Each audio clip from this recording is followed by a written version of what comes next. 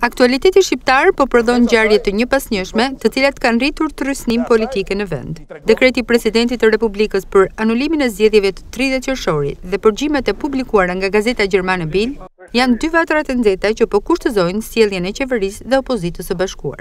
Kryetari i Partisë Demokratike Durrës, Ferdinand Xhaferaj, në një intervistë për Adrianet, ka shprehur qëndrimin e forcës politike që ai përfaqëson në lidhje me këto zhvillime. Në të njëjtën kohë, demokrati durrsak ka argumentuar përse në tridhjetë qershor, sipas opozitës, nuk mund të zhvillohen zgjedhje.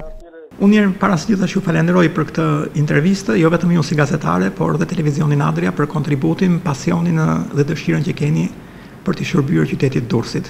Lidhur me pyetjen tuaj që a do ketë zgjedhje me me tridhjetë qershor, unë mund të them që në qoftë se i drejtohemi logjikës së argumentit, nuk mund të ketë zgjedhje në tridhjetë qershor. Pra çështja nuk shtrohet A do ketë apo nuk do ketë zgjedhje me tridhjetë qershor, pavarësisht se qeveria thotë që do ketë dhe opozita e bashkuar thotë që nuk do ketë, logjika shëndoshë, argumenti na thotë që nuk mund të ketë zgjedhje me tridhjetë qershor. Pse nuk mund të ketë zgjedhje me tridhjetë qershor? Sepse e para kemi një dekret të presidentit, të botuar në Fletoren Zyrtare, presidenti është duke ushtruar kompetencat e tij dhe një dekret i botuar në Fletoren Zyrtare është detyrim ligjor të dalësh për të mbrojtur Faktin që nuk duhet të ketë zgjedhje me tridhjetë qershor do të thotë je në anën e shtetit, do të thotë je duke mbrojtur ligjin, sepse dekreti është i botuar Fletoren Zyrtare. Ky është argumenti i parë dhe thelbësor. Një argument i dytë shumë i rëndësishëm pse nuk mund të ketë zgjedhje me me tridhjetë qershor ka të bëjë me faktin se në më shumë se gjysmën e bashkive kemi një kandidat të vetëm. Edhe në atë kohë që brezi i ri nuk e kupton dot sepse është shumë i ri, po ne e kemi jetuar atë kohë, edhe diktatori u mundonte t'i bënte më më të ngjyrosura zgjedhjet, fuste jo kandidat nga Bashkimet Profesionale, jo nga kandidat nga Lidhja e Gruas, Fronti Demokratik e nuk e di se çka kanë qenë. Këtu në më shumë se gjysmën e bashkimeve kemi një kandidat të vetëm. E treta, jemi në kushtet e një tensioni të paparë politik.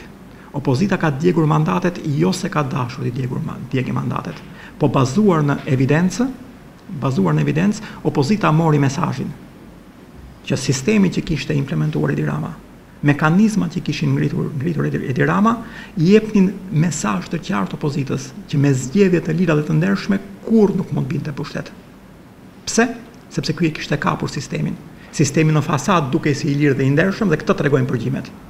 Që nuk kishe nevojë të përdorësh as polici, nuk kesh nuk ke nevojë fare të përdorësh të fortët, se një apo dy ditë përpara bëheshin pazaret për t'i blerë zgjedhjet. Dhe opozita mori mesazhin që këtu është instaluar një strukturë që në asnjë mënyrë në çdo palë zgjedhje opozita nuk mund të realizonte aspiratat e saj. Dhe studiuesit e shkencave politike e kanë mirë të argumentuar këtë fakt. Çdo opozitë, nuk ka rëndësi është në Shqipëri apo kudo, çdo opozitë kur merr mesazhin që struktura institucionale nuk i mundëson që me zgjedhje të realizojë aspiratat e saj e të kthehet në alternativë qeverise, opozitat radikalizohen. Pra, në qofë se kthejmë kokën mbrapa, ne kemi parë që për probleme shumë më minore, Edi Rama ishte lider i partisë socialiste dhe njëkohësisht kryetari i Bashkisë së Tiranës dhe vetëm për probleme me listat e zgjedhësve i shtyu zgjedhjet. Pra janë me dhjetra e dhjetra argumenta që që na thonë që çdo mendje normale logjikon që nuk mund të ketë zgjedhje me 30 qershor.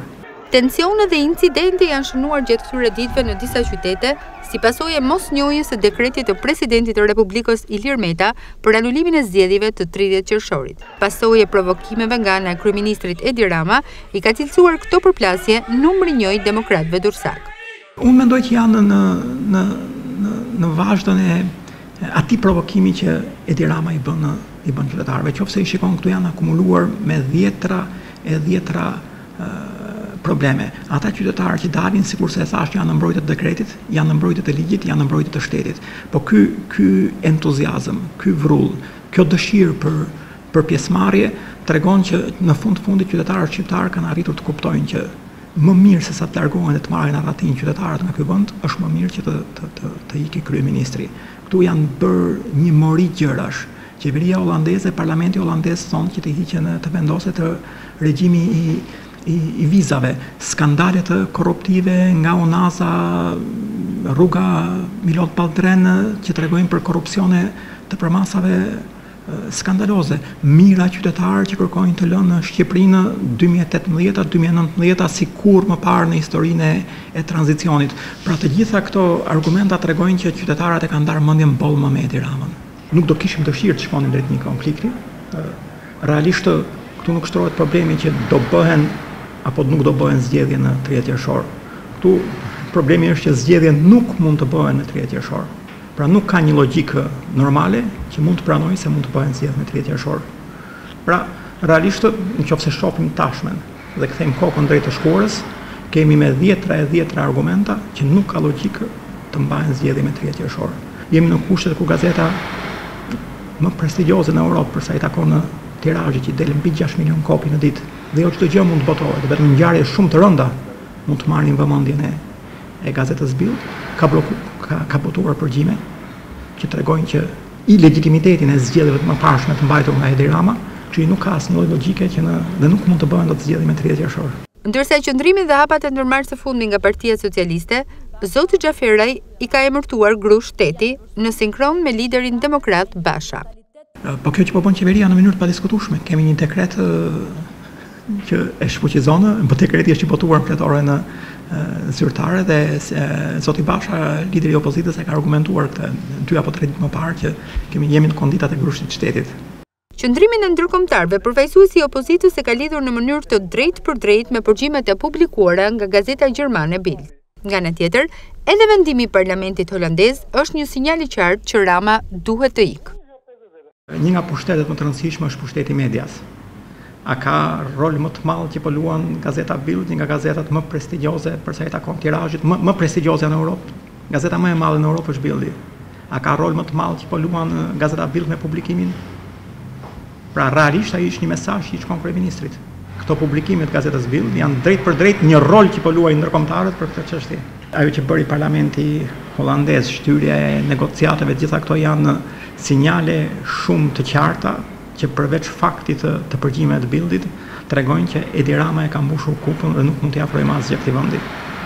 Pra realisht Është kthyer një kryeminist, pa, pa, pavarësisht faktit se ne jemi në opozitë, ai deri më sot është kryeministri i Shqipërisë dhe të gjithëve na vjen keq për rolin qesharak që ka marrë.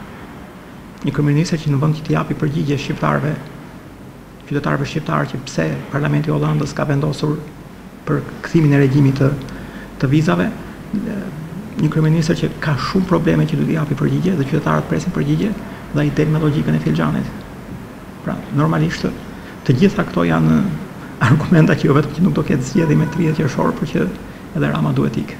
Lidhja me krimin është e vetmja arsye për zotin Xhaferaj që e pengon kryeministrin të japë dorëheqjen.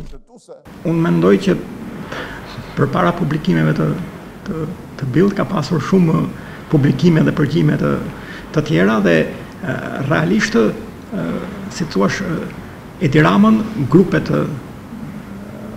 mafioze dhe lidhja me krimin mund të jetë e vetmja arsye e logjikshme që e shtyn atë mos të mos të japë mos të japë dorëheqjen. Në këto kushte, në këndvështrimin e opozitës, a është parlamenti legjitim? Opozita ka djegur mandatet me një arsye shumë themelore bazuar mbi argumentat e saj që Edi Rama nuk ka pasur dakordësinë e qytetarëve shqiptarë bazuar në argumenta për të qenë kryeministri i këtij vendi, duke qenë se Edi Rama, bazuar në të gjitha parimet se si funksionon dhe ç'do të thotë demokracia, nuk ka pajtueshmërinë e qytetarëve dhe është prodhuar evidencë, opozita dogji mandatet dhe të gjitha ato që kanë ndodhur dhe janë publikuar mbas këtij vendimi të opozitës, vetëm tregojnë vërtetësinë e këtij vendimi të opozitës.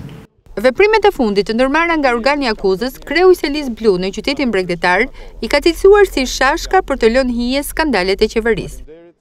Veprimet e fundit të prokurorisë u munduan që të hedhin shashka për të lënë në hije problemin shumë të madh të skandalit të të publikimit të Bildit, qytetarët shqiptarë e kanë e kanë kuptuar e kanë kuptuar këtë dhe objektivisht dhe përgjimet i ka nxjerrë gazeta Bild se nga i ka marrë gazeta Bild nuk mund të nuk dihet pra ata kanë burimet e tyre dhe kanë informacionet e tyre Njëzet e një qershorin që shënon protestën e radhës së opozitës së bashkuar, zoti Xhaferaj e quan përgjigjen e duhur që qytetarët do t'i japin kryeministrit. Mesazhi i shqiptarëve është i qartë, Rama duhet të ikë. Ai po qëndron në pushtet jo me zgjedhje të lira dhe të ndershme.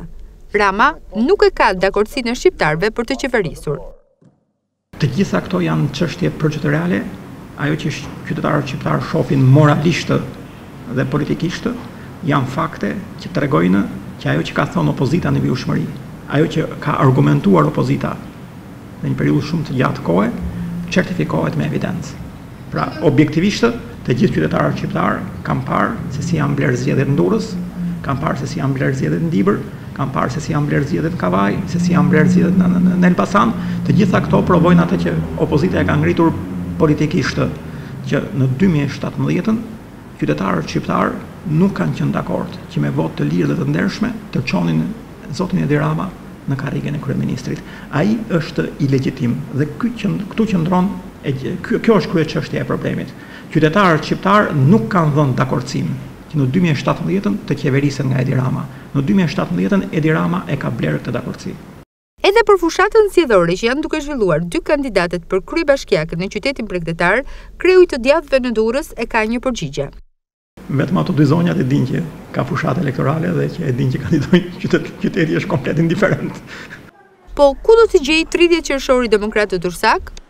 Demokratët durrsakë para 30 qershorit me datë 21, 21 qershor do të jenë në Tiranë më shumë se çdo herë tjetër. Të gjitha protestat e mëparshme dhe dhe protesta më e fundit që sikurse ju i keni ndjekur shkojnë në një numër në rritje, pritet ajo që të gjithë qytetarët shqiptarë e E mendojnë që gjithmonë e më shumë qytetarët do i japin mesazhin kryeministrit që duhet të iki. Nga dita në ditë e gjithmonë e më shumë në numër, e gjithmonë e më fort.